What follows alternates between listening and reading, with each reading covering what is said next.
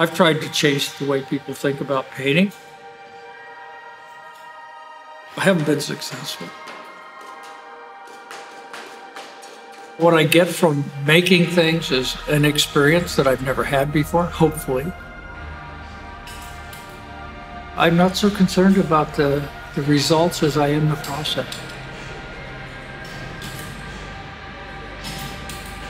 Somebody makes objects, I do something else.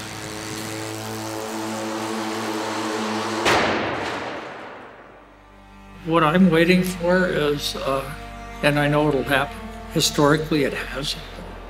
Somebody's going to come in and burn this whole thing down. It's not easy to try to do something outside the realm of acceptability. But on the other hand, there's a group that really kind of admires you for trying, you know? I'm purposely trying to make it hard. But somebody that just changes it, you know, by their actions. What's interesting about art is how it's different, not how it's alike. And now there's a likeness that runs through it, you know, it, that's kind of disturbing to me. I don't care about the results with the art. It's going to look like whatever, but the process you can't change.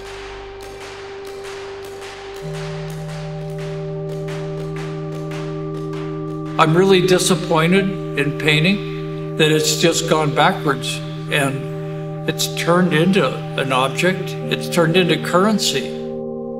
But I'm not angry about it. I don't care. That's not my problem. You know, I don't do it, so who cares, you know?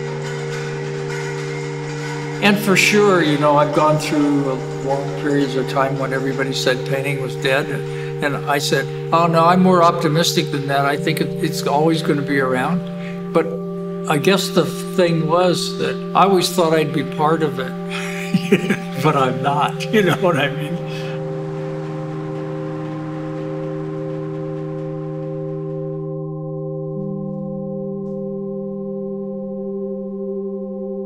The stacked paintings are a comment on painting. One idea, a thousand paintings. That's what painters do. They serialize their work they basically make the same thing. Maybe they change it a little bit, but who cares, you know? I worked a job for two years in a, what they called a box factory when boxes were made out of wood.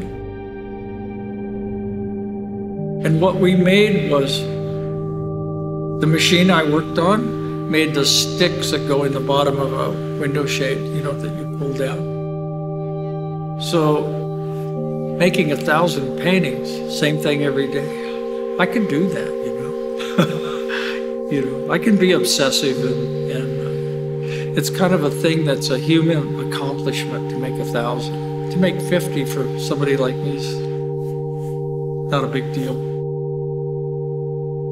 You know, I'm always trying to do things the hard way, and that, I, and that's a statement about how I feel about things.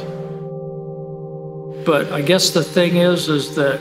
Uh, I'm kind of proud of myself, you know. I think that's all you want. You know, when you're an artist and you die, all you want is dignity.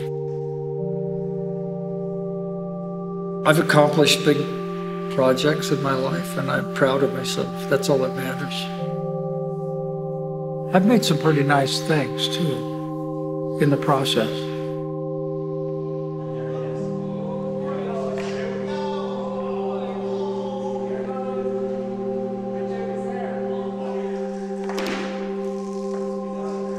don't need a pat on the back to keep going, you know. so.